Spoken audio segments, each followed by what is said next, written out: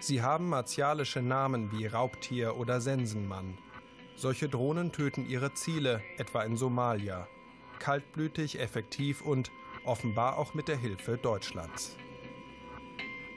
Eineinhalb Jahre recherchieren NDR-Reporter John Götz und Kollegen der Süddeutschen Zeitung. Sie belegen, alle Drohnenangriffe der USA in Afrika werden über die Luftwaffenbasis Rammstein und das Afrika-Kommando in Stuttgart mitgesteuert.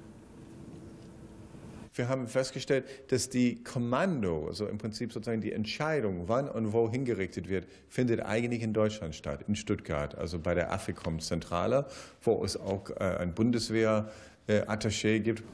Mögliche Ziele in Afrika werden von Deutschland ausgesucht und am Bildschirm verfolgt. Ist ein Ziel erfasst, wird die Information in die USA geliefert.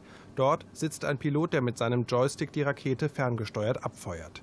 Für Rechtswissenschaftler ist auch die indirekte Rolle Deutschlands bedenklich.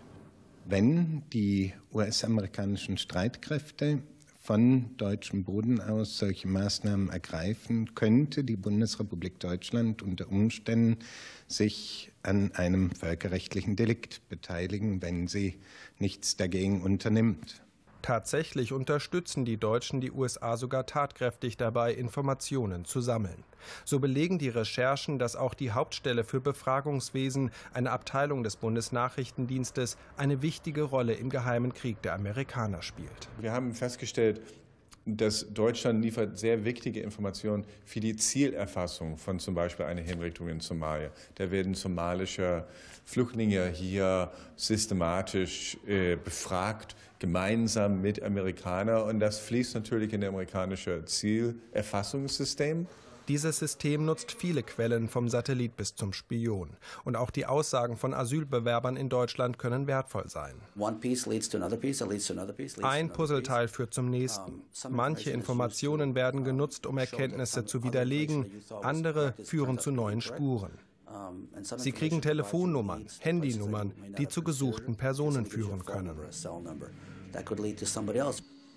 Gesuchte Personen setzen die Amerikaner auf deutschem Boden auch schon mal selber fest, etwa am Frankfurter Flughafen. So haben die Journalisten herausgefunden, dass hier Secret Service und das US-Heimatschutzministerium tätig sind. Von diesem CIA-Stützpunkt in Frankfurt sei gar der Aufbau von Foltergefängnissen in Osteuropa geplant und organisiert worden. Der geheime Krieg der USA, er wird, so die Journalisten, von der Bundesregierung offenbar billigend in Kauf genommen.